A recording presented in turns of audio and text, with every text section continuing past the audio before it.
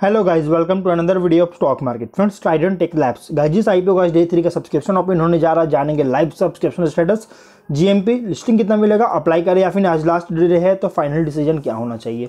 चलिए friends video को start करते हैं। तो गाइस, ये जो आईपीओ है ट्वेंटी फ़र्स्ट को ओपन हुआ था ट्वेंटी सिक्स को। आज के दिन क्लोज किया जा रहा है। Sixteen point zero three crore का बुक बिल्ड इशू आईपीओ है।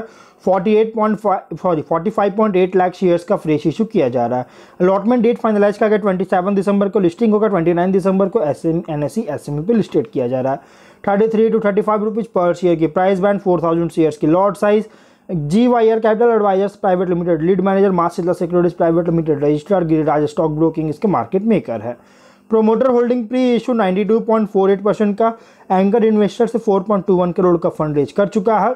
वहीं अगर हम इसके सब्सक्रिप्शन देखेंगे तो बहुत ही स्ट्रॉन्ग सब्सक्राइब है। क्यूआईबी से 3.07 टाइम्स का ओवर सब्सक्रिप्शन है, लेकिन एच देखिए 68.83 टाइम्स का।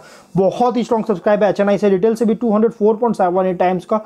रिटेल तो का रिकॉर्ड ब्रेक सब्सक्राइब किया है दो दिन में ही। और टोटल है 121 टाइम्स का, जो कि बहुत ही स्ट्रॉन्ग सब्सक्रिप्शन है। अगर हम इसके जीएमपी की बात करें तो गाइज़ फोर्टी फाइव रुपीज़ का और 128 परसेंट की लिस्टिंग मिलने के चांस है। मतलब गाइज़ जितना इसका प्राइस बैंड है, उससे ज़्यादा इसके जीएमपी ट्रेंड करे इसके अकॉर्डिंग गाइज़ बहुत ही स्ट्रॉन्ग डेब्यू करेगा वन की प्रॉफिट आपको मिलने जा रही है लिस्टिंग गेन मिलने जा रही है।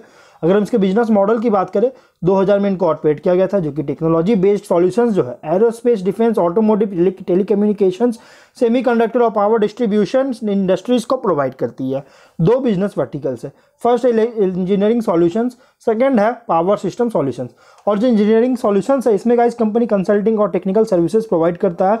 System level electronic design chip level electronic design embedded design hydraulic pneumatic system system modelling reliability and quality design automation power electronics PCB design और इलेक्ट्रोमैग्नेटिक सिमुलेशंस इस तरह की सर्विसेज़ कंपनी इंजीनियरिंग सॉल्यूशंस में provide करती है।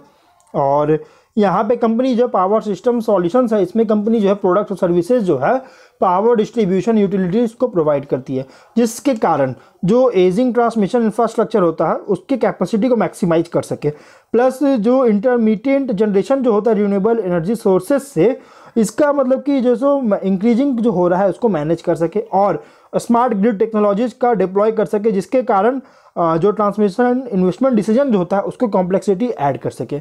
और यहाँ पे अराउंड हंड्रेड से ज़्यादा इसके पास कंपनी के पास जो है इंजीनियर्स और प्रोफेशनल्स है। यहाँ पे फिनाशियल अगर देखिएगा तो 21 में 28.3 करोड़ का रेवेन्यू 32 लाख का प्रॉफिट है। 22 में twenty nine point eight crore का रेवेन्यू सिक्सटी फोर लाख का प्रॉफिट है। ट्वेंटी थ्री में sixty eight point two crore का revenue five point five crore का प्रॉफिट है। तो यहाँ पर अक्टूबर के महीने में अगर देखिएगा तो यहाँ पर जो है अराउंड सेवन मंथ्स में ट्वेंटी वन करोड़ का रेवेन्यू और टू पॉइंट सिक्स करोड़ का प्रॉफिट है। तो गाइस कंपनी का जो फिनांशियल है, अगर हम देखेंगे तो गाइज़ देखिए पास्ट में लॉसेस देखने को मिल चुका है 21 में, लेकिन 23 से कंपनी को जो है 23 के बाद से सडन बूस्ट देखने को मिला, जो कि फ्यूचर में सस्टेनेबिलिटी को लेकर एक कंसर्न क्रिएट कर रही है डाउट क्रिएट कर रहा है। कुछ रिस्की पॉइंट्स भी है तो रिस्की पॉइंट्स क्या है गाइज़ कि बिज़नेस जो है कंज्यूमर प्रेफरेंसेस का कॉन्स्टेंटली चेंज होती है, जिसके कारण गाइस इसके वजह से बिज़नेस को इम्पैक्ट कर सकता है। प्लस इसका सक्सेस भी डिपेंडेंट है नए टूल्स डिज़ाइन सॉल्यूशंस और सर्विसेज़ के डेवलपमेंट पर। अगर ये इस पर एबिलिटी पर, जिसको अगर ये टाइम रेट नहीं करती तो कहीं इसकी वजह से कंपनी के बिज़नेस को इम्पैक्ट कर सकता है। Plus negative cash flow past में देखने को मिल चुका है। अगर ये जो इफ़ेक्टिव मैनर में इफ़ेक्टिव मैनर में अगर ये इन्वेंट्री को मैनेज करने में इनएबिलिटी होती है तो कंपनी का बिज़नेस को अफेक्ट कर सकती है।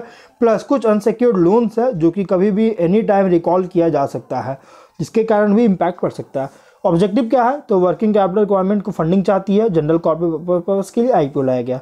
देखिए, यहाँ पे कस्टम बिल्ड टेक्नोलॉजी सॉल्यूशंस में जो है नीच प्लेस क्रिएट कर चुका है, जिसमें इंक्लूड है इंजीनियरिंग सॉल्यूशंस और पावर सिस्टम सॉल्यूशंस लेकिन 23 के बाद सडन बूस्ट हुआ टॉप एंड बॉटम लाइन्स में। ये एक थोड़ा सा डाउट क्रिएट कर रही है। फिर भी गाइस 24 के अर्निंग के अकॉर्डिंग फुल्ली प्राइस रखा गया तो अगर आप इसको मीडियम टू लॉन्ग टर्म के इन्वेस्टमेंट करना चाहते हो आप अप्लाई कर सकते हैं।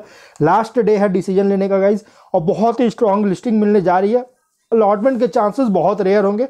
लेकिन जिनको भी अलॉटमेंट होगा इस बहुत ज़्यादा लकी होंगे क्योंकि बहुत ही स्ट्रॉग इसके जीएमपी ट्रेंड करिए लिस्टिंग मिलने जा रही है। तो हम लोग जो है वीडियो कहीं पर एंड करते हैं। अगर कोई डाउट है कमेंट बॉक्स में पूछे, मिलते हैं नेक्स्ट वीडियो में। Till bye bye